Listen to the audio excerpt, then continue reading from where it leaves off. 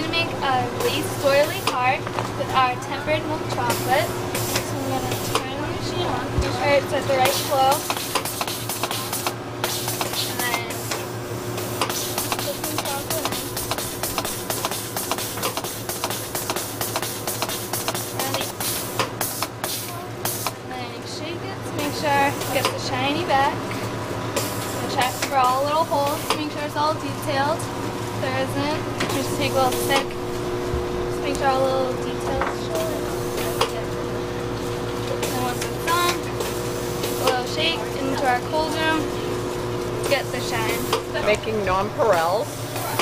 Chocolate dropped on little nonpareil seeds. We make them in milk, white, dark.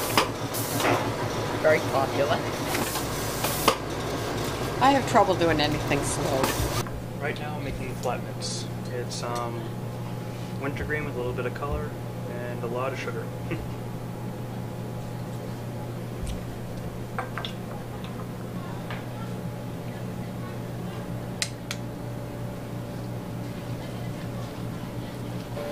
Just up and down, try to time it so it stays consistent. Not too big, not too small.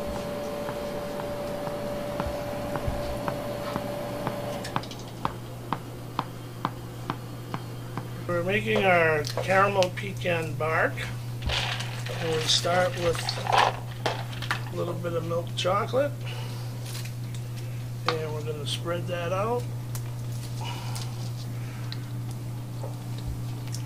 Put a little pecans in at the beginning, just kind of keeps it from spreading a little too thin. Going to be about three layers, so we start very thin on the first layer.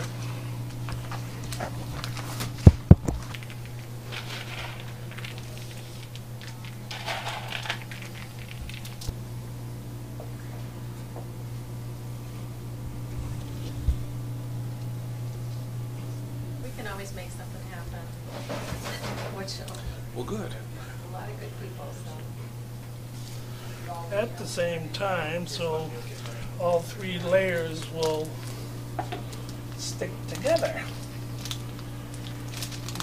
One, one layer of the chocolate sets up real hard and you put another layer on it, when you go to break it, it's just gonna split apart.